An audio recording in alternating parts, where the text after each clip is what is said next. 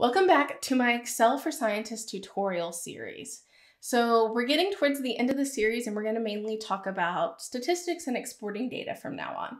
So today we're going to be going through t-tests. So I'm going to show you how to do t-tests in Excel and which type of t-test you should be using. As always, if you want to follow along with this specific data to make sure you're getting the same answers I am getting, then you can download this Excel workbook off of um, the link in the description below, it has all of the Excel series and all of the data that goes along with each of these individual videos there. You can also either in that link or in a separate link in the description below, download my Excel cheat sheet. It's going to have the formulas I'm using, what I'm doing with them, and how you can do it easily in a PDF so that you can easily print it out and have it next to you anytime you're trying to remember how to do these so you don't have to keep referencing these videos. All right, so let's get started today. So we're going to talk about how to do t-tests. And the main two types is paired and independent t-tests. So we're going to go through a paired t-test first. I'm going to explain a little bit about it, and then we're going to go into the independent. So here we have um, the, again, this is just a bunch of data that is talking about mental um, disorders prevalence within countries um, by year. So in this case, we have a bunch of different countries. We have the prevalence of um, mental disorders in 2000 and the or the prevalence of depression in 2000 and the prevalence in 2010. So this is about a decade apart. And what we want to know is was there a significant difference in the rates of depression in 2000 compared to 2010? And so, something important here is whether we should use an independent or a paired t test. So, if we were just interested in all countries were the rates different, we could logically use both. Um, so, a paired t test in this case is going to give us a greater power. And it's specifically going to do this because there might be countries with just lower rates of depression or higher rates of depression. So if we just compared all of the all of the depression rates in 2000 versus all in 2010, there's going to be a lot more variability in that than if you have it specified per country because each country has its 2000 number and its 2010 number, which means those two numbers are more highly correlated to each other than they are to any other number because they come from the same country. They are linked together.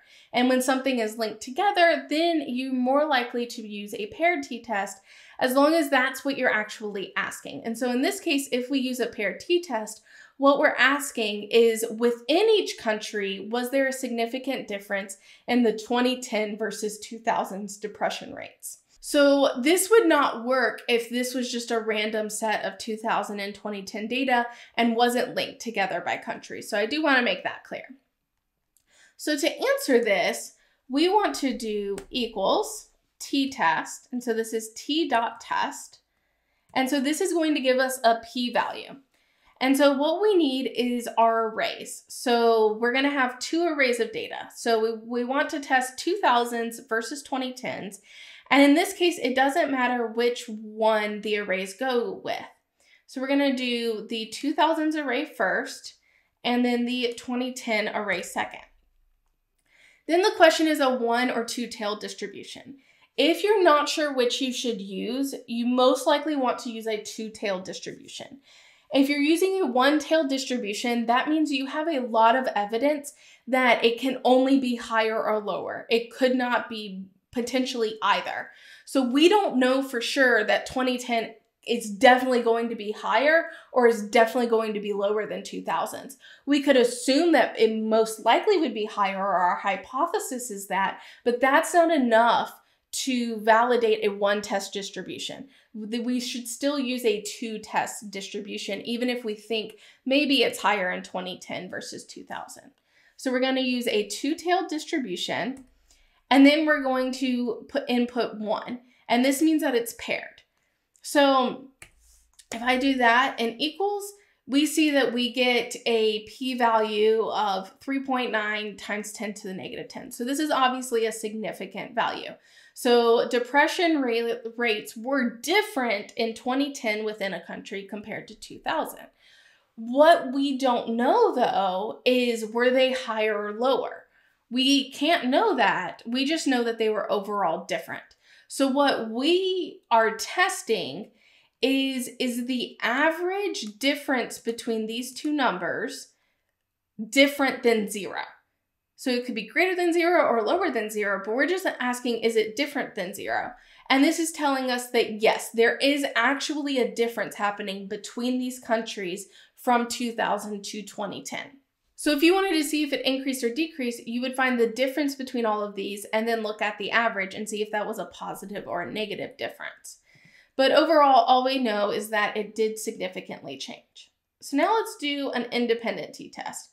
So in this case, we have categories. So we have countries, and then these are grouped by whether they worked greater than, whether the average person worked more than 2,000 hours per year, or if they worked below 2,000 hours per year.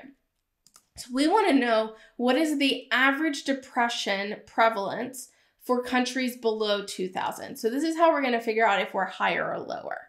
So we're going to find the average of these numbers. So let's do the average. And we're just going to do it like that. And then we're going to equal the average again. And we're going to come into where it says below 2000s. And I can do that only because I've already pre-sorted these. Um, and then we're going to do the significance of depression. So in this case, we want to do another t-test. But none of these val so here are our 2000 hours plus and are below. None of these are any more related to each other than any other value, right? There's no links between this 4.22 and this 3.29. So this time we need to run an independent t-test. So we're going to put in our two arrays. So we're going to do that, put in our second array, if you want to just go all the way down to the bottom, hit Control Shift down and it'll automatically do that for you. Our tails, again, we're going to do a two-tailed. We don't know if they're going to be higher or lower. And for our type, we don't want to run a, a, paired, and a lot of people will run two sample equal variance. And this is one that you should run really cautiously. So if you run a two sample unequal variance, if your variances are actually even slightly unequal, this is going to account for that. And you're going to have much, um, you're going to have a much more robust system. If you have equal variance, you're going to get the same answer basically as doing a two.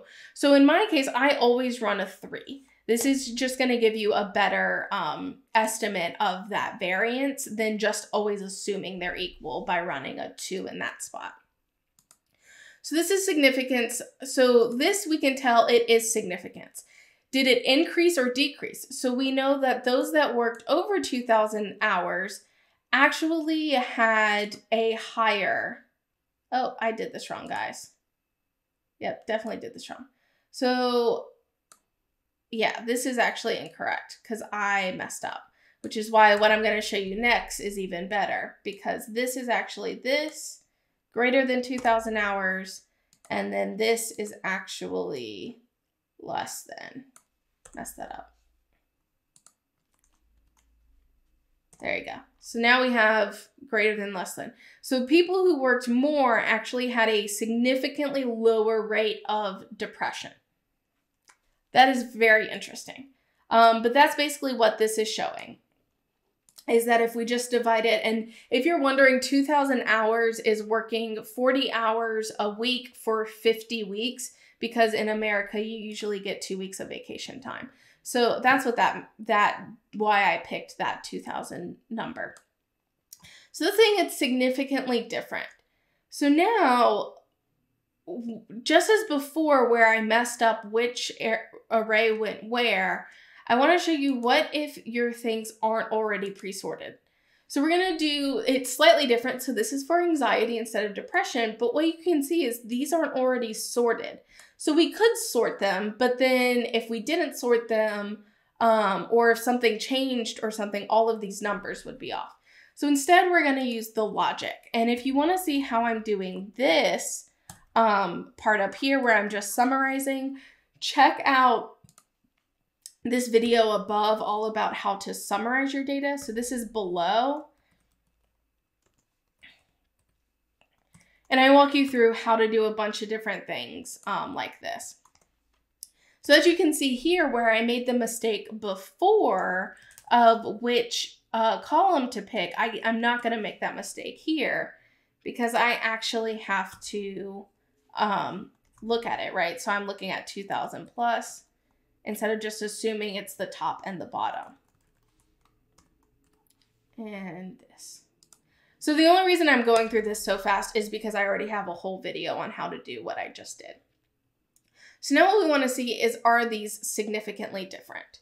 So if we want to do this, we are still going to run the t-test as before, but now our things aren't nicely sorted over here. So I can't just scroll down and say, okay, these are the first array. So what we're going to do is we're going to use logic functions. We're going to use if functions. So we're going to say if this is equal to below 2000, then give this value. If it's not, give nothing. So that's what that's saying. It's going to look through here. And so for every below 2000, it's going to populate array one with this number. If it's like this one where it's not below 2000s, it's just going to give it nothing there. It's not going to give it a zero. It's going to give it nothing. That's an important difference between those two. So then the next thing is we want if this sorry, is equal to 2000 plus hours. And you want to make sure whenever you're doing text that it is exact. The value of true is going to be, again, that anxiety prevalence. And the value of false is going to be nothing. So now our two arrays are logic functions. It's going to auto-populate that array based off of what this actually says. So now we want to do the tails so that we're completing our formula just like we did before. So it's a two-tailed distribution and we're going to use that three again for the unequal variance. And so it might take a little bit longer after you press enter to populate, but now we can see that it's even more significant that those that have above 2000 work hours have a lower prevalence of anxiety. Now, this does not mean that working more decreases your anxiety, right? Like always causation versus correlation, very different things. Um, but this is really interesting data. And so we do want to be careful before you make any causation ideas about what this data actually means. And yes, this is actually real data from um, Our World in Data. So that's how you do a paired t-test, an independent t-test, and then an independent t-test using if logic so you don't have to sort your data or anything um, like that. Also, don't forget to grab that cheat sheet. It has all of these and how to fill out all those different t-test formulas in there. And I really hope that you enjoyed this video and I look forward to seeing you in the next video, which is all gonna be about correlations and regressions and creating those models. I'll catch you in the next video.